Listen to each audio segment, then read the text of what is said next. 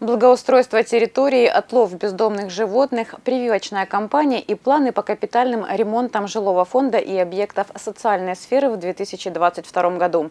Эти темы сегодня стали ключевыми на еженедельном аппаратном совещании в администрации.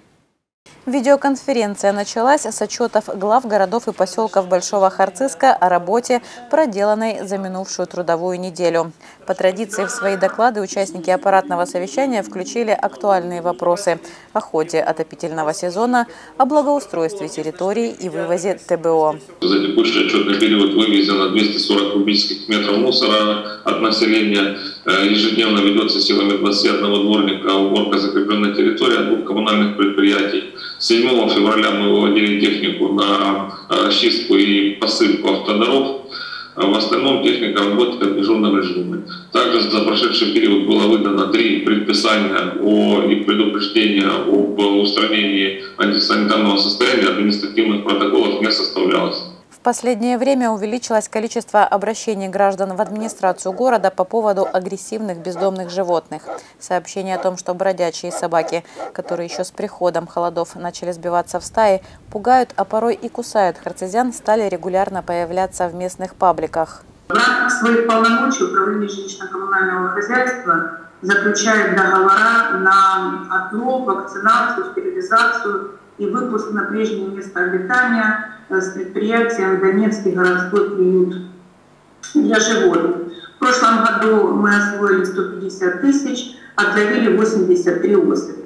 Э, в этом году у нас э, договор в стадии заключения. Была задержка по причине болезни сотрудников приюта, но по информации вчера мы получили, что сегодня-завтра они подтвердят нам на электронной площадке согласие заключить контракт.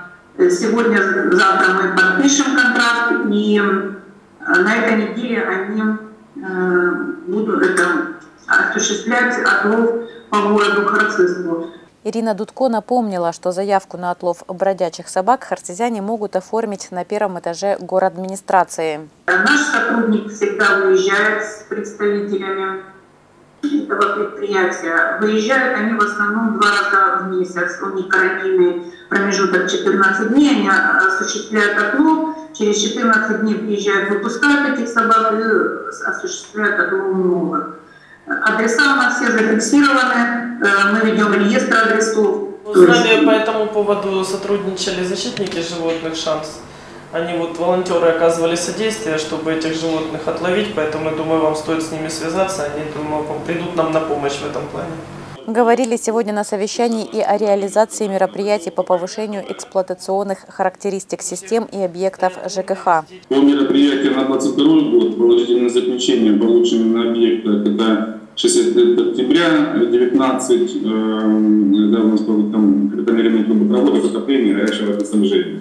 И также э, положительное экспертное заключение у нас есть на ремонт фасада штукатурки Карл Маркса 4.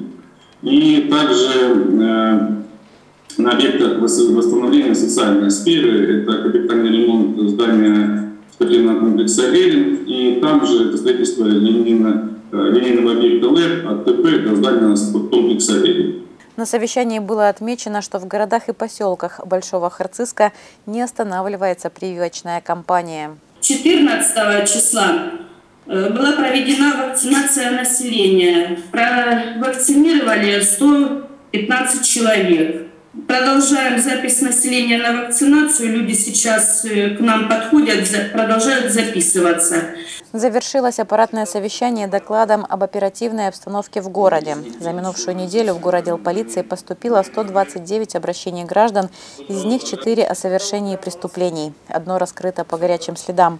21 человек был задержан, 13 из них за нарушение комендантского часа.